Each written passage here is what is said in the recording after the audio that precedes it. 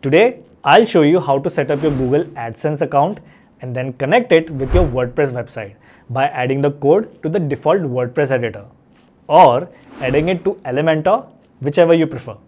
Then select the type of ads that you want to run and how to display them on different parts of your website. We'll go step by step so it's easy to follow. Now, before we get started, your website needs to satisfy all the items on this checklist, otherwise your application might get rejected by Google. So once you've done all of this, just visit this website, sign in with your Google account or create a new one. Enter your website URL,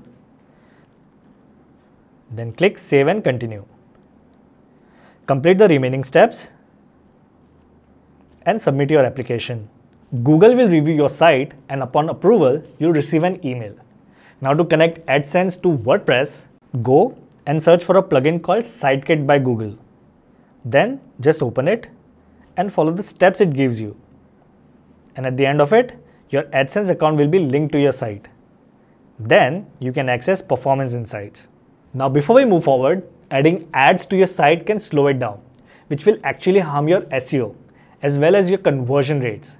So you should also install a free plugin called Airlift like I have here. Let me just quickly open and show you. As you can see, it increased my site speed a lot and does a whole bunch of optimization on its own for free. It's built by the same team as MalCare and BlogVault, so it's safe to trust as well. And yeah, lots of value here for free. So to get it, you can just visit airlift.net and download the plugin from here. Okay, now coming back to Google Ads. If you're just starting this process, you should go to Ads, the Auto Ads. These are great because they require minimal setup and optimize your ad placements automatically, helping you maximize revenue with ease. So just turn this on.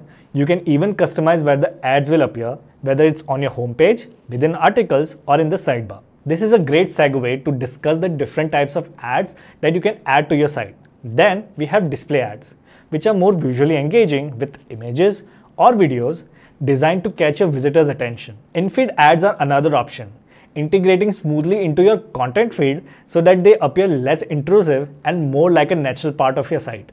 Similarly, in-article ads are placed within your articles, offering a seamless reading experience while still being noticeable. If you are looking to have more control over where your ads appear, you can manually add the ad code to your site sidebar.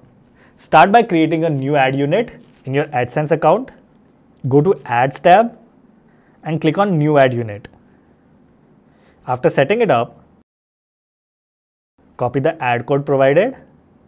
Then head over to your WordPress dashboard, go to Appearance, and then Widgets. Here, you'll find the option to add a custom HTML widget to your sidebar. Simply paste the ad code into the widget and save your changes. When it comes to creating your ad layout, you have the option to do it manually or let AdSense handle it automatically. For a manual setup, you'll need to create ad units in AdSense, copy their code, and then place these codes in specific areas of your WordPress theme files or widgets. For example, you could place an ad in your header by editing your theme's header PHP file. On the other hand, if you prefer a hands-off approach, you can enable auto ads and AdSense will automatically handle the ad placement based on the settings you choose. For those using Elementor, adding ad code is straightforward.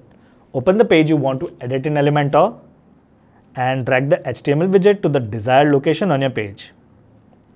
Then paste the code into the widget and click update to save your changes. If you're using WordPress default page builder, open the page you want to edit Click the plus icon to add a new block and select custom HTML.